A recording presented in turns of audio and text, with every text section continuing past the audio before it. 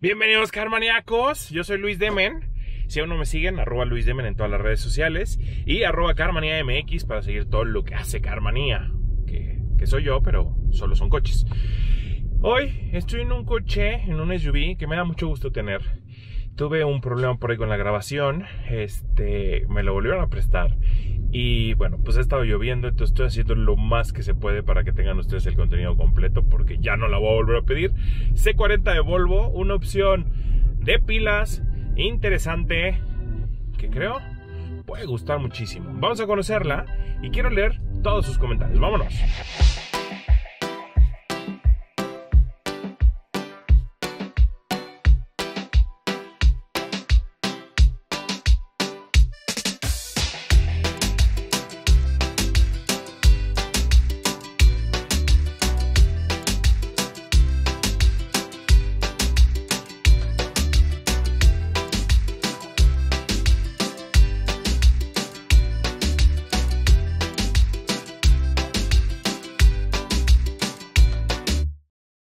Tenemos este pequeño eléctrico de Volvo C40 que definitivamente me gustó.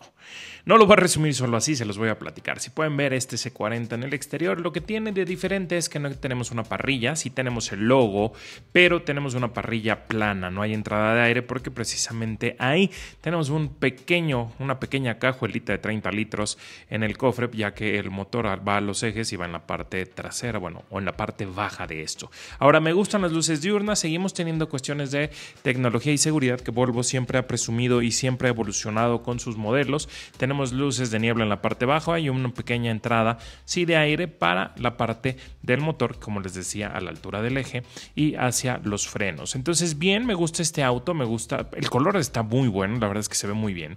Y lo que sí tiene es que juega con la cuestión del bitono para hacer de este un auto mucho más jovial, más atractivo. Rines en dos tonos también, me gusta mucho eso. Los arcos de rueda en plástico, en estas como como molduras que van también en la parte baja de la camioneta para pues simular que pudiese hacer un off-road extremo, ¿no? Y ahora, esta cuestión de tecnología y de implementación de cuestiones eléctricas son de la parte del futuro eléctrico que tiene Volvo. Me gusta mucho el diseño trasero, la parte del techo, cómo remata con un spoiler dividido para poder bajar realmente ese aire que va por el techo hacia el spoiler trasero y darle, recuerden, en los autos eléctricos es muy importante, mucho mejor coeficiente de aerodinámica, que esto es una parte principal para los autos eléctricos para generar menos drag, para poder dar más kilómetros con la autonomía o más bien con las baterías que ya se tienen. Entonces, bien, me encantan las luces traseras, le dan un look bastante interesante y el diseño me gusta este doblez aquí que tiene.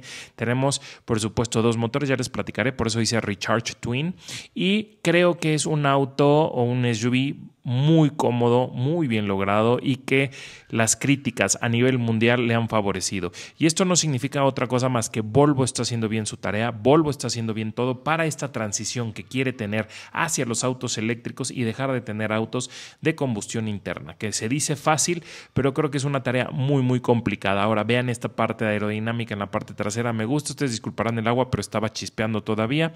Vamos a hablar de los motores, porque tiene dos motores eléctricos, cada uno de 200 4 caballos de fuerza y 330 Nm van acoplados a cada uno de los ejes. En total tendríamos 408 caballos y 660 Nm. La tracción es all-wheel drive o permanente. La transmisión es automática de una velocidad, consumo que tuve en promedio cuando más abusé del acelerador, 21.8 kWh. Aquí ven la cajuelita de 30 litros que tenemos en la parte frontal. El 0 a 100 lo hace en 4.7 segundos, lo que habla de su capacidad de arrastre y la autonomía 449 kilómetros, que es un muy buen número para un auto que no es citadino, que ya se vuelve muy usable y que se vuelve un auto bastante deseable, tanto por prestaciones, por autonomía, como por cuestiones al interior que pueden gustarle en este segmento de autos eléctricos premium. La cajuela de la parte trasera, que digamos sería la normal, es por supuesto con un portón eléctrico, 413 litros de espacio, tenemos una cajuela de muy buen tamaño, de boca amplia y aquí abajo tenemos un pequeño cargador de viaje que está todo mal acomodado, yo no lo acomodé, que no crean que nada más lo aventé ahí, así estaba, pero este cargador nos sirve para cuestiones prácticas si no es que no tenemos un wallpack en casa o en la oficina o no nos conectamos a alguna de las tomas que hoy todavía en México son gratuitas. Entonces, bueno, este sí ayuda, aunque es más lento, si lo tenemos en 220 es mucho más rápido. Ahora, les decía, tenemos cierre centralizado también la parte trasera, algo que pues necesitaríamos un auto premium y en caso de Volvo, pues no es excepción. Ahora, el interior, lo interesante es que tenemos muy buena manufactura de los asientos, pero no hay nada de piel. Aunque ustedes lo vean así, no tenemos nada de piel, es un auto bien logrado con cuestiones y materiales reciclables, materiales verdes en cuestión de armado. También Volvo se está dando la tarea de hacer vehículos verdes que no utilicen ciertas cuestiones que pues no deberían, ¿no? Google Ready, actualizaciones automáticas, Harman Kardon, Google Play, sistemas de seguridad. Este auto es 100% Google. A mí es una de las cosas que no me gustó porque soy Apple y me costó mucho trabajo. No pude emparejar, obviamente, solo como un Bluetooth tradicional y no tuve mi replicación de mi Apple CarPlay. Creo que esto es uno de los pasos siguientes que debe de hacer la marca, no solo cerrarlo a Google, sino más bien abrirlo a los dos sistemas operativos y basarse en Google, pero teniendo en cuenta los dos. Entonces creo que es bastante bueno esto. Vemos por supuesto el interior típico de Volvo, un clúster digital, tenemos pantalla al centro, tenemos muy buenos materiales, les decía, aunque parece piel, no es piel, ya no tenemos piel. Entonces son cosas que creo que ha hecho muy bien Volvo. Tenemos unas cuestiones de molduras translúcidas que cuando apagamos y es de noche el auto se prende en blanco, entonces nos da muy buenos detalles. Entonces, bien, creo que es un auto, un SUV que logra esta transición. 1.379.900 no es un precio tan descabellado, pensando que es una marca premium, segura, conectada y sobre todo que es un auto eléctrico de más de 400 kilómetros de autonomía. Entonces, creo que C40 se pone muy bien en la competencia. Sí, es una opción de pila, bueno, eléctrica, que realmente logra muy bien su trabajo y que al final del día lo que consigue es convencernos de que el futuro eléctrico, al menos el que está plasmando Volvo, pinta muy bien. Y la verdad es que sí. Ahora, hay cositas que a mí no me gustaron. Sentí como el menú muy hecho para Google, muy poco para cualquier otro tipo de marca Apple. Y eso no me gustó porque soy usuario Apple. Pero si tú usas Google, esto está brutal porque conectas absolutamente todo y esto, pues a futuro va a ser la conexión para entre coches menos accidentes y demás, que se supone va a ser una bomba. Ahora, bien ahí. La pantalla creo que es justa, pudo haber sido un poquito más grande, tiene espacio el housing, las salidas de aire acondicionado, pero está perfecta para el precio, para, para poderse ofrecer como algo asequible y que no sea algo imposible. Entonces, bien, ahora, la aceleración muy buena, la respuesta la sabemos en los autos eléctricos, como tenemos todo el tiempo el torque y entonces en cuanto pedimos y aceleramos, pues tenemos absolutamente toda la potencia disponible. Y esas son de las cosas que nos gusta ahora. Por ejemplo, subí a la Jusco y regresé. Al subir llegué con 59% de batería, 58% de batería.